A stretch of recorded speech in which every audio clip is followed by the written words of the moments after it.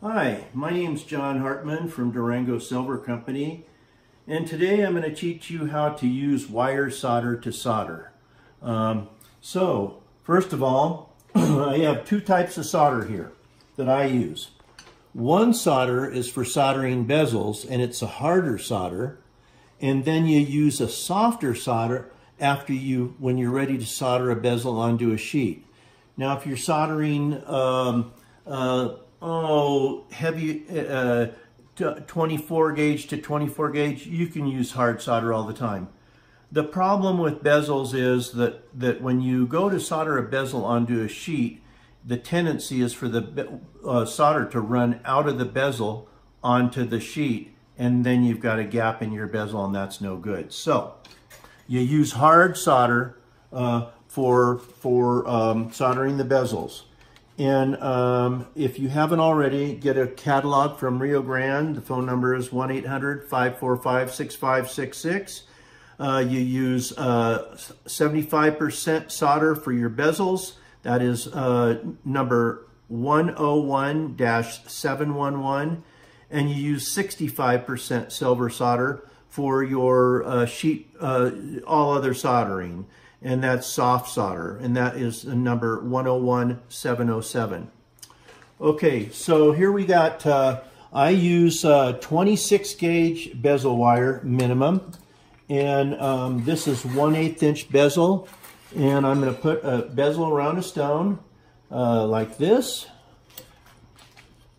Get it around the stone here, and then when you push it together here, it'll inherently mark itself, but I use my fingernail right there just to make sure. And let me see, get it again. I flicked it on the table.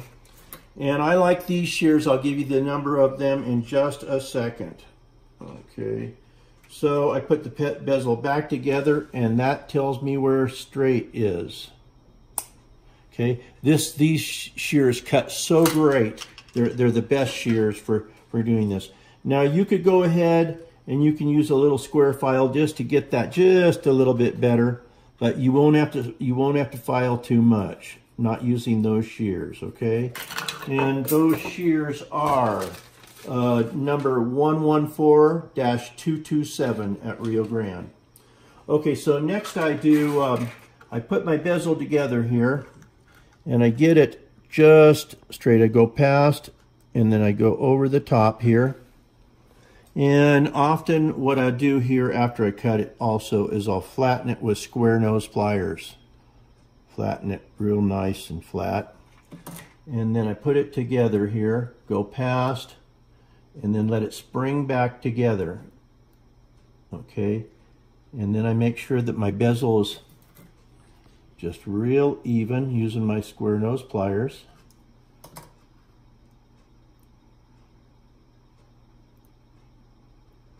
Okay, now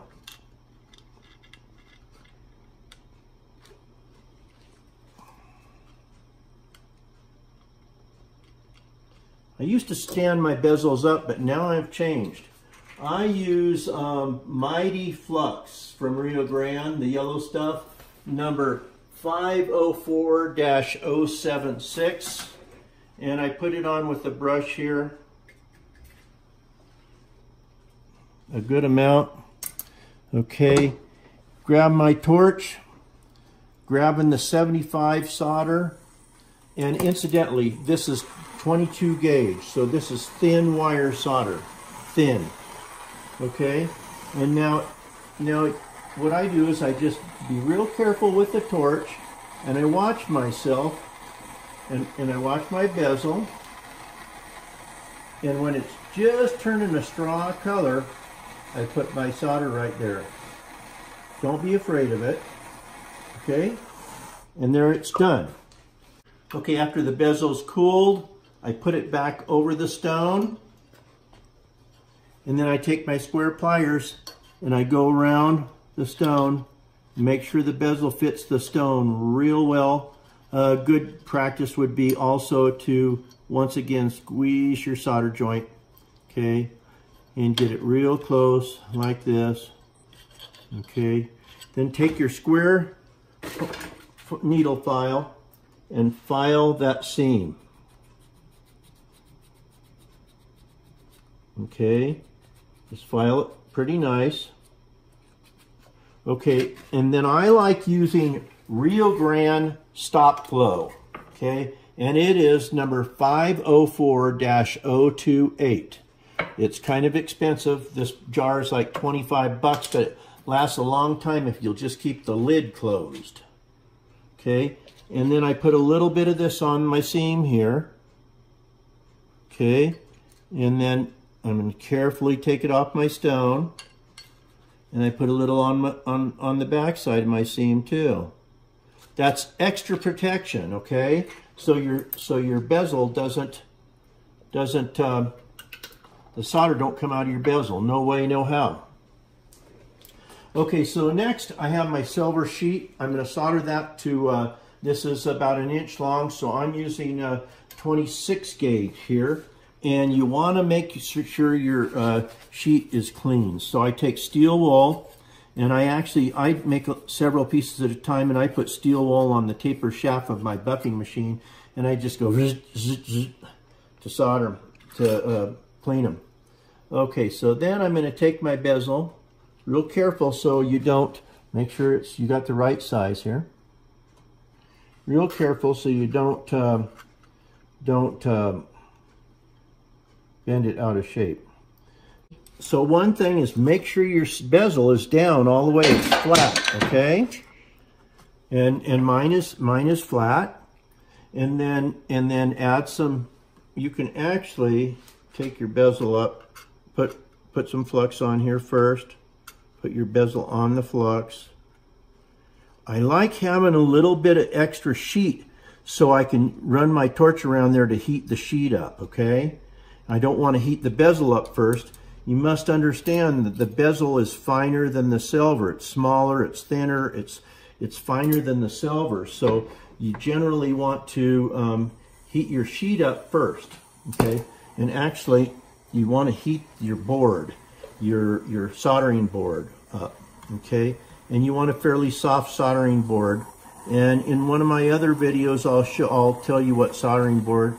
Uh, but they, uh, uh, Rio Grande has, they're called soldering boards, and all their soldering boards are good. So, okay, so, uh, so now what I do is I go around and I heat this thing up uh, slowly, carefully. And if you've got several here, they automatically get heated up uh, from doing the one pr prior to it.